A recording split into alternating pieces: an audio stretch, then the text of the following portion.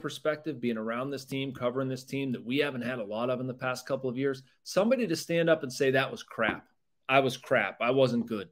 You know, in some form or fashion. Like, take, so take refreshing ownership. Of, like he didn't even need to say that. I didn't even think it was that bad. But like I, I think this fan base has been really irritated by guys standing up and like downplaying losses, or it's going to be okay, or I thought I pitched well, or oh, I get to play Major League Baseball for a living or things like that. And I think those answers irritate the daylights out of people who are mad about the Pirates.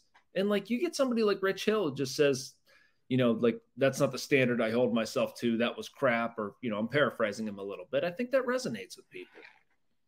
It is, and there's a lot to be learned. We, we were talking today, and I told him, I said, you know, a lot of these guys just don't know what it's like to have the game be taken from them Rich does.